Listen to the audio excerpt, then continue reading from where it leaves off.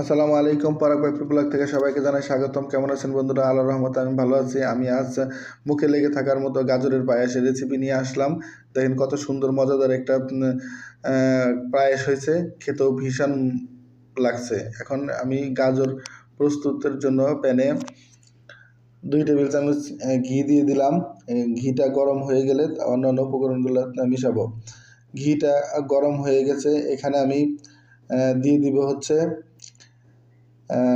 কাঠবাদাম আর হচ্ছে কিছু কিশমিশ এখানে একটু ভেজে নিব। আর কিশমিশ কাঠবাদাম ভাজার গন্ধটা গিয়ে অত্যাধিক লোভনীয় একটা ফ্লেভার আসছে।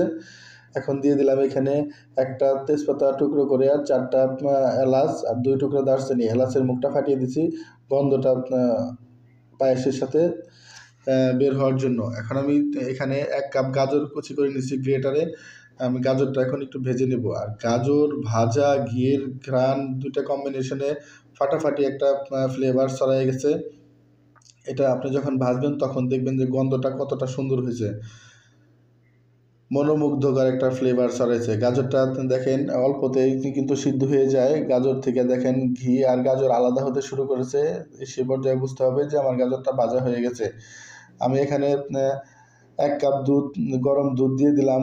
এখানে গাজরটা নেড়ে চেড়ে মিশিয়ে দিলাম। তারপরে এখানে অন্য অন্য উপকরণগুলো এখন মিশাবো। সে এখানে আমি এক কাপ কনডেন্স মিল্ক দিয়ে দিলাম।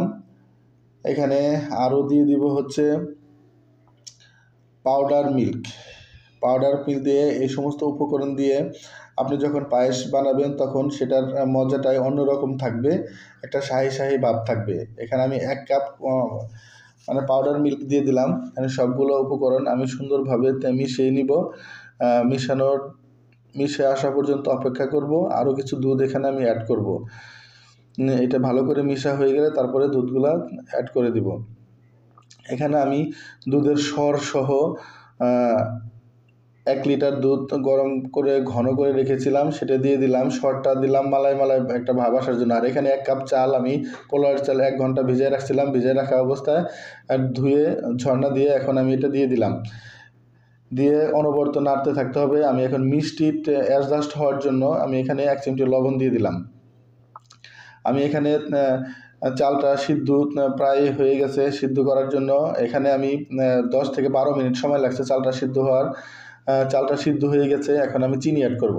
কারণ চিনি যদি আমি আগে অ্যাড করতাম, তাহলে চালটা সিদ্ধ হতো না। এখানে আমি তিন কাপ পরিমাণের চিনি অ্যাড করে দিলাম। কারণ আমার চালটা এক কাপ পরিমাণ ছিল এই জন্য মিষ্টিটা একটু বেশি দিলাম। কারণ মিষ্টি জিনিসে মিষ্টি না হলে, পায়েসে মিষ্টি না হলে এটা আবার খাওয়ার মজাটাই অন্যরকম হয়ে যায়।